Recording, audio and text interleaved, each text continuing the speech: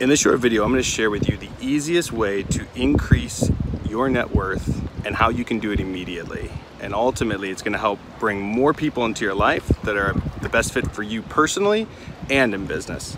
Hey everybody, it's Matt Milia here.